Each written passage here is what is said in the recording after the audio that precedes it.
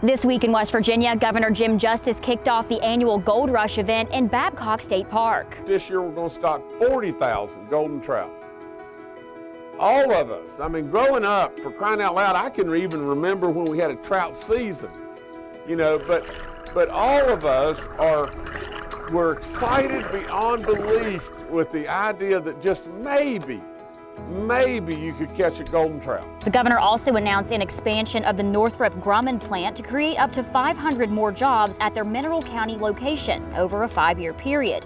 And he recognized students from Tolsia High School for winning first place in the annual No School Spirits PSA contest held by the West Virginia Alcohol Beverage Control Administration. It's really sad, and it absolutely rips the guts out of communities and families and everything else and you don't want to be one.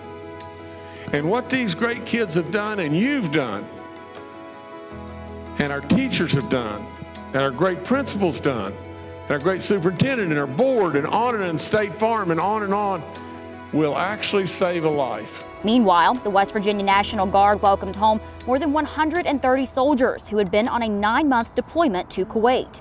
The West Virginia State Police celebrated their 100th anniversary, honoring those who have lost their lives in the line of duty. Private James Shrewsbury.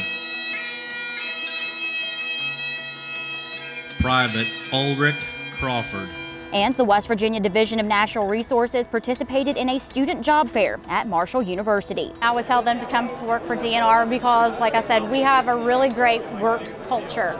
We're not just bound sometimes by the offices like many other agencies are. We're able to get out. You can find more information about these stories and many others in our West Virginia Week in Review newsletter.